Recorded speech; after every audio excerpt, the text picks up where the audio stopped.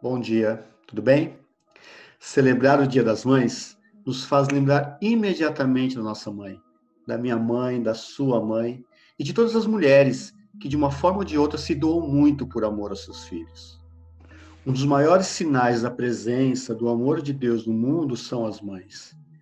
E para celebrar essa data tão especial, vamos lembrar também da maternidade de Nossa Senhora, da maternidade de Maria, a mãe de Jesus.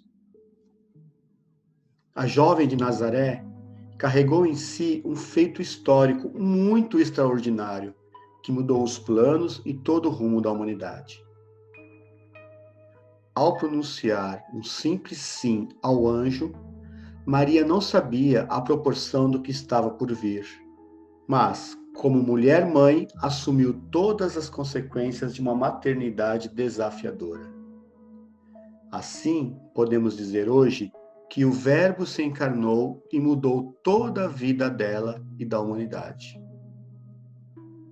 Pense, a maternidade de Maria foi de grande desafio. Também hoje, no nosso cotidiano, muitas mulheres mães passam por grandes aflições. Com Maria, podemos constatar que Deus se fez história junto às pessoas. Também hoje, no nosso cotidiano, podemos identificar muitas mulheres mães que passam por grandes aflições. Encerramos esse momento lembrando um versículo do Evangelho de São Lucas. Porque realizou em mim maravilhas aquele que é poderoso e cujo nome é santo. Desta forma, no dia de hoje, vamos rezar com grande alegria uma oração da Ave Maria.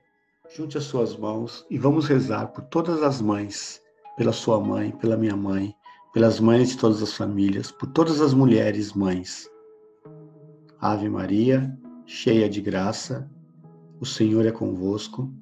Bendita sois vós entre as mulheres, bendito é o fruto do vosso ventre, Jesus. Santa Maria, Mãe de Deus, rogai por nós, pecadores, agora e na hora de nossa morte. Amém. Nossa Senhora Auxiliadora, rogai por nós. Amém. Feliz Dia das Mães e até segunda-feira.